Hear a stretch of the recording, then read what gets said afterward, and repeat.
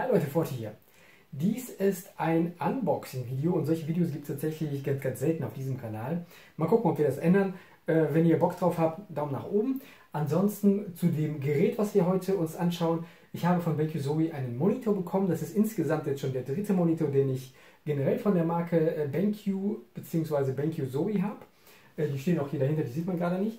Ähm, das eigentliche Video, also richtiges Review- und äh, Testvideo äh, von dem Ding, kommt eigentlich auf meinem Main-Kanal, auf meinem CSGO-Hauptkanal. Und hier soll eigentlich einfach nur ein Unboxing stattfinden, wenn ich denn eine Schere habe. Die habe ich jetzt natürlich.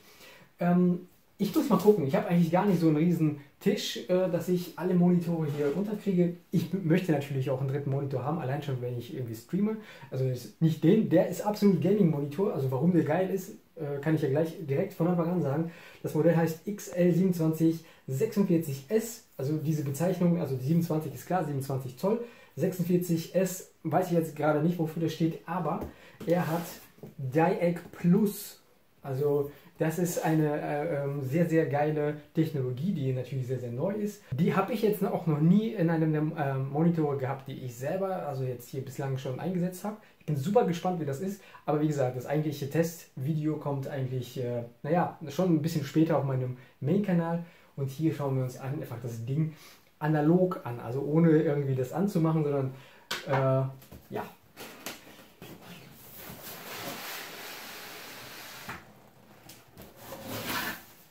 Dann kommen wir hier über das durch. Achso, das ist der Fuß, glaube ich. Achso, nee, das ist der äh, Schirm, der Seitenschirm oder wie nennt man das? Hier ist halt natürlich Kabellage, ganz klassisch. Hier, ähm, was ist das? USB-Kabel. Hier ist Displayport oder ist das HDMI? Ne, das ist Displayport. Das ist natürlich das Stromkabel. Das ist hier so eine äh, Gummihaube, falls man das, das Ding, äh, naja, um den Monitor ziehen möchte, um halt vor Staub zu schützen und so. Ist eigentlich ganz cool. Dann ist hier natürlich die typische Fernbedienung, so wie man es ja eigentlich auch schon kennt von BenQ Zoe. Falls ihr das Video von mir gesehen habt zu dem Monitor, äh, zu dem 2740. Dann ist hier hinten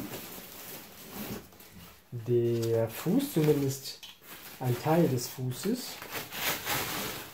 Ich glaube, insgesamt müsste der Monitor eigentlich sehr, sehr ähnlich sein wie der ähm, XL2740, also optisch. So, und hier ist der eigentliche Fuß. So, und jetzt kommt, jetzt kommen wir schon der Sache näher.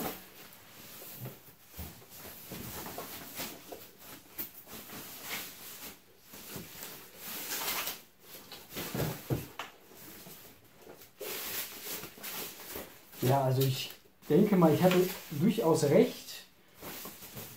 Das Teil hat hier eine Energiezertifikation oder Zertifikat mit A+, 21 Watt. Hier kommt natürlich der äh, Fuß dran geschraubt. Aber hier schauen wir uns nochmal die ähm, Anschlüsse auf der Unterseite an. Hier ist natürlich DVI, hier ist äh, DisplayPort an der Seite, hier ist irgendwie äh, für die Fernbedienung der Anschluss und äh, für den für den USB-Hub hier an der Seite, ne, die USB-Anschlüsse und natürlich auch äh, HDMI-Anschlüsse. Würde ich eigentlich auf jeden Fall mit DisplayPort betreiben. Ansonsten habt ihr, erreicht ihr nicht die 240 Hertz. So, und dann hier die, der gewohnte Halter für Headset und äh, USB-Hub. Und natürlich die Anschlüsse für äh, Sound. Hier können wir den Fuß montieren.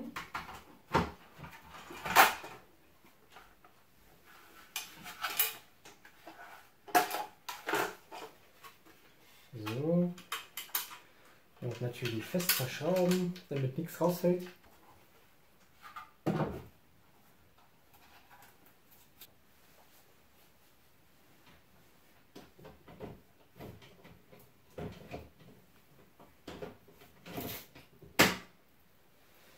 So. Ich glaube, der ist jetzt schon fest. Also vom Modell her sieht er ganz genauso aus äh, wie der XL2740. Ähm, hat wirklich optisch alles irgendwie ganz identisch.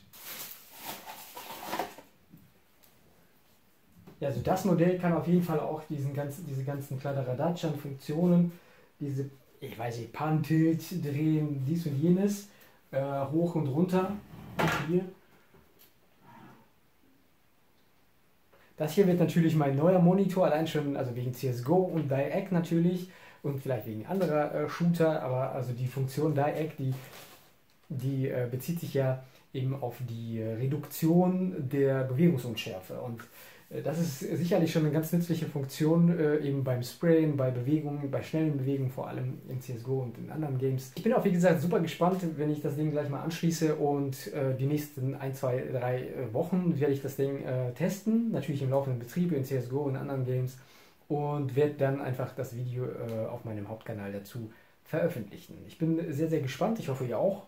Vielen Dank fürs Zuschauen, Daumen nach oben, haut rein und bis dann.